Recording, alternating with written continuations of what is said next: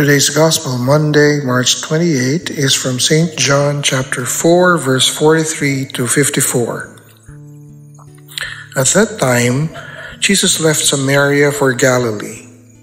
For Jesus himself testified that a prophet has no honor in his own native place. When he came into Galilee, the Galileans welcomed him, since they had seen all he had done in Jerusalem at the feast for they themselves had gone to the feast. Then he returned to Cana in Galilee, where he had made the water wine. Now there was a royal official whose son was ill in Capernaum. When he heard that Jesus had arrived in Galilee from Judea, he went to him and asked him to come down and heal his son, who was near death. Jesus said to him, Unless you people see signs and wonders, you will not believe. The royal official said to him, Sir, come down before my child dies. Jesus said to him, You may go, your son will live.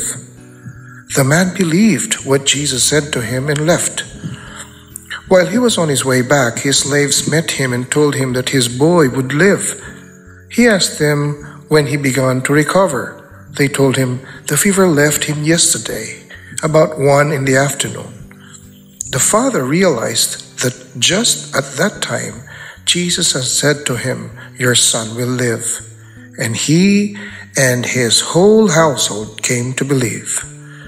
Now, this was the second sign Jesus did when he came to Galilee from Judea. The Gospel of the Lord. Today's Faithfood reflection is from Brother Ariel Agsalud of the ACT. Sir, come down before my child dies. The official who initially wanted Jesus to accompany him to his sick child simply believed the words Jesus spoke to him Go, your son will live. Jesus healed the boy with his words alone.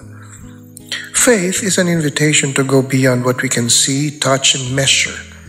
It is a leap from the dark into the light. Healing is a sign of God's presence. It is also a manifestation of His love to all of us if we believe in Him. Let us approach God's words with new eyes and ears, in wonder and in faith.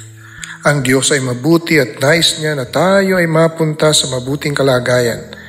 Hindi tayo pahindihan ni Jesus kapag tayo ay lumalapit sa Kanya para sa ating kagalingan. Tayo ay may iba't ibang uri ng karamdaman. Ito ay maaaring pisikal, emosyonal o spiritual. Kadalasan tayo ay pinanghihinaan ng loob kapag nakikita natin na ang ating mahal sa buhay ay nasa bingit ng kamatayan.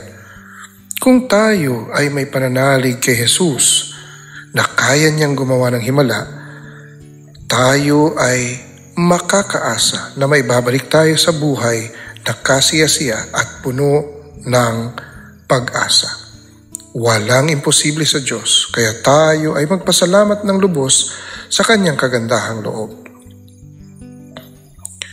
Let us pray. Lord, heal us from our sickness that we may serve you faithfully. Amen. In the name of the Father, and of the Son, and of the Holy Spirit. Amen.